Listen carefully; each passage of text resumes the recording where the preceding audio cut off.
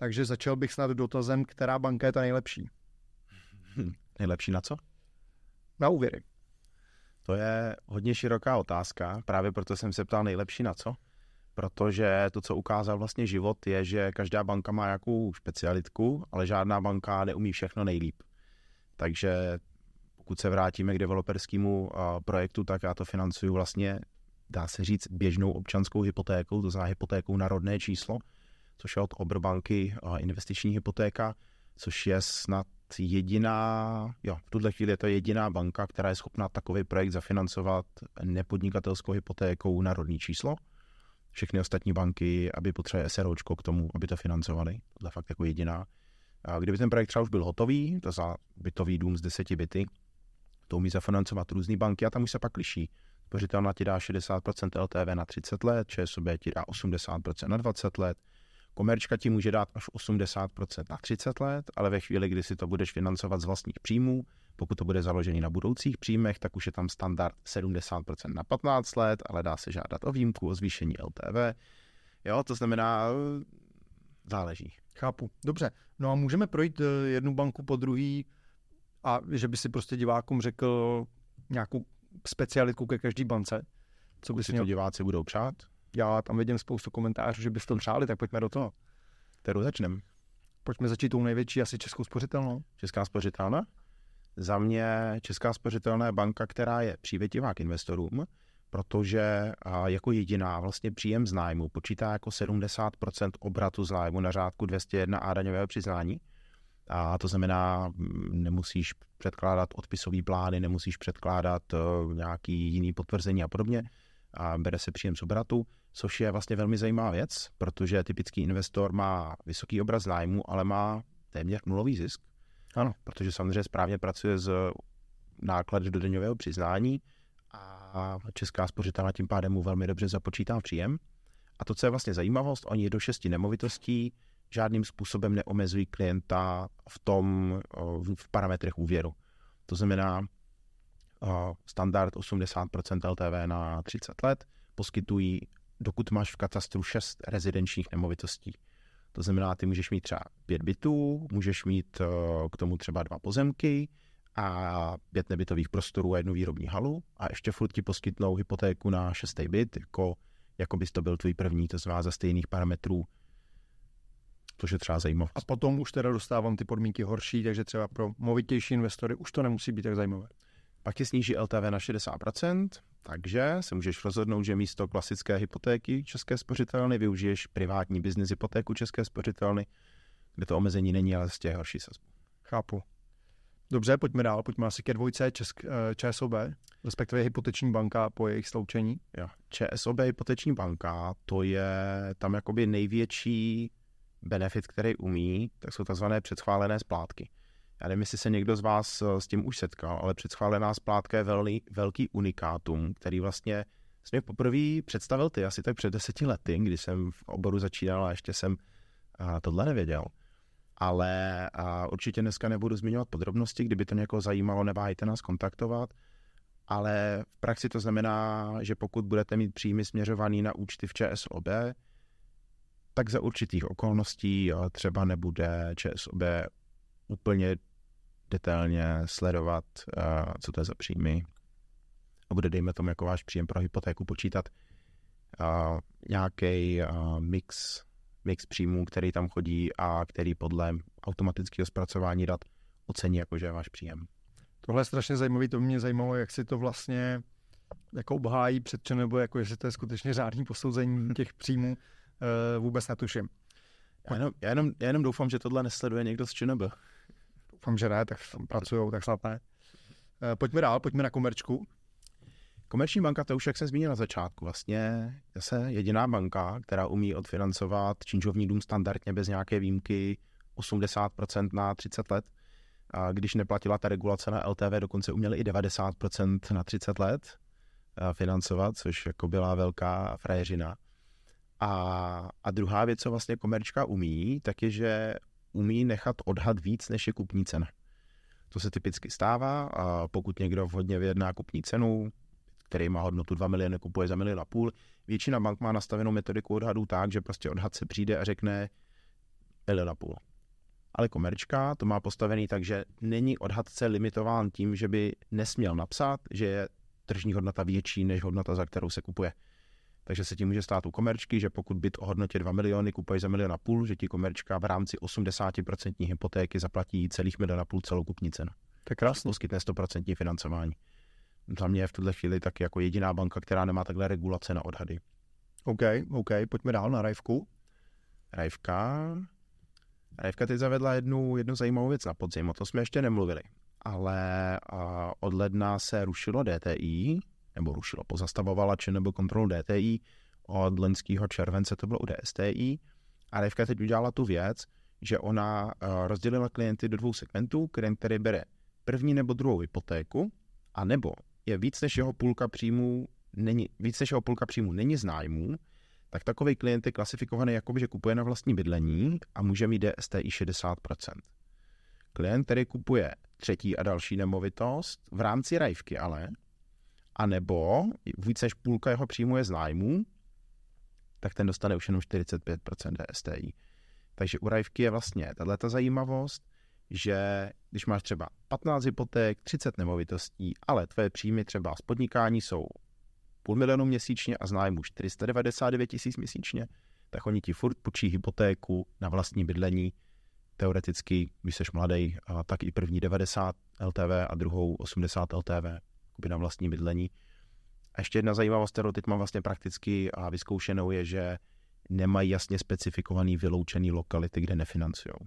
Hmm. Což je taky hmm. velká, velká unikát, velký unikát mezi bankama a zrovna u Rajvky bych to nečekal, ale překvapili mě, takže můj poslední úvěr uh, byl u Rajvky. Zajímavý.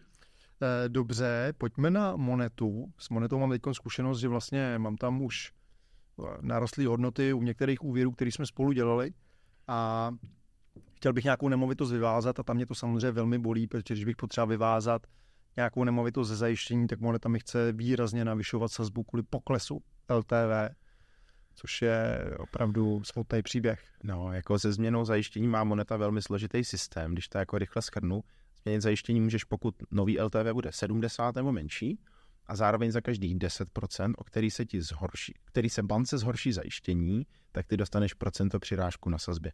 Takže pokud dneska máš LTV tvý 80% hypotéky máš dneska LTV 50, protože si něco splatila, nemovitosti šly nahoru, a teď by si chtěl změnit zajištění na jinou nemovitost, kdyby LTV bylo 70, tak ti to umožní za 2% navíc na sazbě. To je, je to opravdu katastrofa s takovou bankou. Já jako investor prostě nemůžu dál jako pokračovat. Samozřejmě, beru od toho, kdo dává, to je jasný, ale rozhodně moneta v takovémto případě prostě není banka zajímavá pro investory. No ty s ní nemůžeš pokračovat ještě z jednoho důvodu. Protože od té doby, co jsme řešili u tebe, že čtyři hypotéky u monety, a tak moneta zavedla pravidlo, že každý člověk může mít u nich pouze dvě účelové hypotéky a jednu Ameriku. To znamená, ty už máš čtyři hypotéky, takže už žádnou umět nemůžeš. Já Jasně. si taky neškrtnu, já jsem tam se dvěma hypotékama. Jsem jednu zdědil od Wistenrotu, to byla taky frajeřina, 40 letá hypotéka ze 7 letou fixací za 1,93 u Wistenrotu. Bez prokazování příjmů, pozor ještě teda.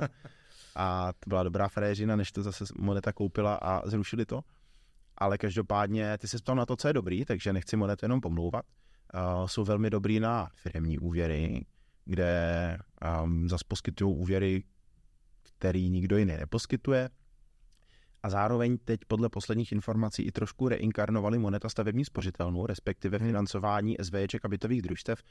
Ono to už řeší moneta banka, ale já nevím přesně, jaký je tam vztah mezi tou stavební spořitelnou a bankou. Nicméně stavební spořitelná si před třema lety přestala financovat, to bylo někdy duben 21 podle mě, stavební spořitelna kompletně přestala financovat SVJčka a bytový družstva.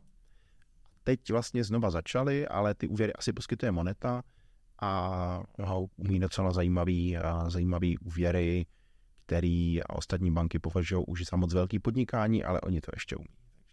Zajímavé, dobře. Pojďme na italskou Unicredit. Italská Unicredit, no. To myslím, že to italská si zmínil naprosto správně. Je ano. to banka, která je trošku italská to, co, to, co je jako velký plus, jako jediná banka zrušila DTI a DSTI kompletně. Takže dneska u nich vlastně ne, ne, nefunguje žádná jiná regulace toho, kolik můžeš mít úvěru, než čistě regulace a regulace interní banky. Ne, není tam aplikovaná žádná regulace ČNB, což je vlastně jediná banka v tomhle úhlu pohledu. Takže by se dalo říct, že, že se u Unikreditu dá uvěrovat třeba spousta lidí, kteří už jinde neprojdou, což je komplikovanější, protože Unicredit se rozhodla, že nebude financovat nemovitosti k nájmu. Což je jako samozřejmě trošku paradoxní, ale prostě funguje to tak, že ty když máš pět nemovitostí a kupeš šestou na vlastní bydlení, tak teď záleží, jestli ti to budou věřit nebo nebudou věřit, že je na vlastní bydlení. Když máš pět bytů v Mostě a pak si kupuješ rodinný dům u Prahy, asi se dá věřit, že je na vlastní bydlení. Když máš pět bytů v Mostě kupuješ šestý byt v Mostě a samozřejmě možná banka se bude ptát, proč konečně ten šestý byt v Mostě už je na vlastní bydlení a těch pět předchozích bylo k nájmu. Takže v tomhle Unicredit trošku jako zádrhel, to znamená, a někde jsme jako narazili, že ta hranice mezi tím, co je vnímáno jako k nájmu a co je vnímáno jako na vlastní bydlení, je dost nejasná. No, samozřejmě bydlení člena rodiny, že jo. Mnoho členů, široká mnoho, rodina. mnoho široké rodiny. Ale každopádně to zrušení DTI, DST je určitě dobrá varianta. Taky mají poměrně fajn výpočet u paušalistů. Jako myslím, Takže použitelná je. Pro Použitelná určitě je, má, má jedny z nejnižších sazeb dlouhodobě, takže sazby, sazby jsou fajn, ale prostě u investorů, který už má několikátou nemovitost, ty, ty příjmy tam lepí z pěti různých, jakoby, tu bonitu lepí vlastně z pěti různých druhů příjmů a jeden z těch je příjem z nájmu a vlastně deklarují, že kupují na vlastní bydlení, tak tam to trošku může drhnout. Jasně. Uh, pojďme na menší hráče na trhu. Už jsme naťukli Oberbanku, to je zajímavá, ale asi musíme zmínit, že prostě poslední, teď nevím, dva roky, je vlastně mrtvá. No, určitě. To je vlastně velmi dobrá poznámka, protože Oberbanka byla poměrně dost propagovaná ve spojitosti s, budouc- s uznáním budoucího příjmu z nájmu do příjmu. Ona je to jakoby jediná banka, která umí uznat do příjmu budoucí nájem, který ještě dneska vůbec nemáš.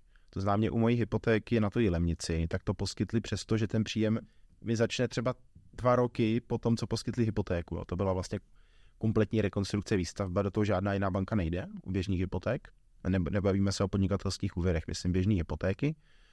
A na druhou stranu, oni mají jednu takovou metodicky strašně špatnou věc a to jako totálně likviduje trh, eh, likviduje jakoby jejich použitelnost na trhu. A to sice, že oni pro výpočet bonity používají takzvanou fiktivní sazbu. To znamená, oni vemou všechny tvoje úvěry, které dneska máš. A ty tam máš 1,89, 2,09, takový hezký sazby třeba. A oni udělají to, že vemou ten úvěr a spočítají, jaká by byla bývala splátka, kdybys tam měl úrok ne 1,89, ale 7,5 dneska. A kdybys měl splatnost ne těch 30 let, ale 25, nejdíl 25. Jo? A u spotřebáků snad to přepočítají na 9% a 5 letou splatnost. Jo? Za tobě vyjde, že reálně máš splátky 100 tisíc, ale Oberbanka ti do bonity počítá prostě 250. Jo, takže neuvěřitelný prostě, nevychází to, nevychází to tam vůbec. Snaží se prej přesvědčit své rakouské vedení, jakože to je nesmysl, a rakouské vedení samozřejmě má rakouský myšlení o tom, jak se mají poskytovat úvěry, takže Tohle by mě vždycky strašně zajímalo, kdo to vlastně vymýšlí a pravděpodobně to jde z těch bank, že od zahraničních vlastníků, nějaký befel. To vůbec to nedává smysl, přijde mi, že prostě nejsou schopni vůbec rozumět tomu trhu, jak to tady je. Ale to je těžký, protože banky samozřejmě musí mít obezřetnost při poskytování úvěru. Jo, oni to mají i ostatní banky, jen třeba ČSOB, když budeš modelovat hypotéku, tak tam jakoby se ti i v modelaci ukáže splátka a splátka, kdybys měl o 2% vyšší sazbu a banka počítá s tou o 2% vyšší sazbou, jestli na ní ještě máš na splácení. Ale nepřepočítávají úvěr do konkurence. Což samozřejmě z úhlu pohledu, že já si dneska půjdu pro hypotéku a za měsíc mi skončí fixace někde a skočí mi splátka na dvojnásobek, Eh, samozřejmě jako ten přístup Oberbanky na jednu stranu dává smysl, na druhou stranu je bohužel jako nepoužitelný na trhu pak. Jasně. Okay. Je, to dobrý, je to dobrý pro prvožadatele, který ještě nemají žádnou jinou hypotéku. Jasně, pravděpodobně ty ale nebudou že jo, běhat a stavět třeba činžák jako nějaký první svůj projekt. Každopádně zajímavý, zajímavá, zajímavá možnost. A co nějaký menší banky, FIO, M-banka, Airbank, Hele, uh, FIO, FIO mám zkušenost, že je banka, která jako umí být velmi individuální, ale často je velmi pomalá. To znamená, to, co já jsem si vyzkoušel, tam mám dvě hypotéky, které jsem schválil během covidu, a, a který mi schválili a od schválení k vyhotovení smluvní dokumentace to trvalo 6 týdnů. A jsem schválil hypotéku, jsem čekal, než to budu moc podepsat. jo, ale zase na druhou stranu poskytli mi hypotéku, kterou mi v tu chvíli jiná banka nebyla ochotná poskytnout. Takže super. Eh, pak si zmiňoval tu druhou... M-banku. M-banku. U M-banky je vlastně zajímavý příběh, protože oni se, ty jsi byl vlastně na sklonku toho, že tvoje, ty jsi měl jednu jako z posledních hypoték ještě za rozumnou sazbu, to byla jen 2,09 a měsíc potom oni řekli, že zvýší jednorázově sazbu na 3,09. To znamená v době, kdy trh byl okolo 2%, tak M-banka zvýšila o procento na trh a tam to držela dlouhou dobu, to znamená byla vlastně nepoužitelná z důvodu sazby a vlastně byla i nepoužitelná, protože tak nějak nic nechtěli schvalovat, vždycky furt vymýšleli a metodika, nemetodika prostě zamítali, jako zbytečně zamítali ty hypotéky.